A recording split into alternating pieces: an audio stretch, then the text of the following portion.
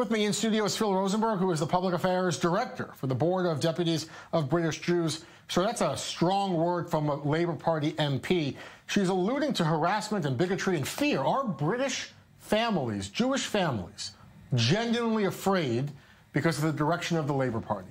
There is a lot of concern, Jeff, because despite all the uh, attempts to get the Labour Party uh, sense, the Board of Deputies where I work for, we organised a demonstration of 2,000 people outside Parliament April last year.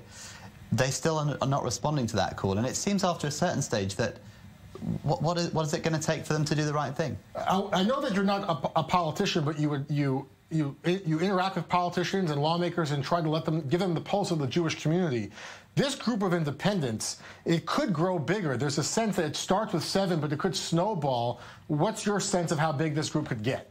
It's very difficult to tell. There are a lot of people who are very discontented with Jeremy Corbyn's leadership of the Labour Party. For one thing, anti-Semitism is a huge issue, as you said. Brexit is, of course, on the agenda. And this culture of bullying and intimidation as well. There's also rumours that some members of the Conservative Party may, may split off as well. But it's, it's difficult to tell. I think what... Do you think it's the start of a movement, that this is the first pulse of something that will get bigger? I think it's, there'll be many people waiting and seeing the reaction. It's, it's a very, very difficult decision, Jeff. Our political system does not really allow for the creation of new parties in this way. So for people to decide to leave their lifelong home over the anti-Semitism is a searing indictment on the leadership. It shows how serious it is. This is Absolutely. a Western party, and people are leaving because they're afraid of the growing anti-Semitism for their own safety. Now, I want to ask about the responsibility of Theresa May's government, that if Jewish families are afraid to wear yarmulkes in public or walk to synagogue, the Jeremy Corbyn and the Labour Party, they're not in power. On some level, could is it the Conservative Party that needs to do more?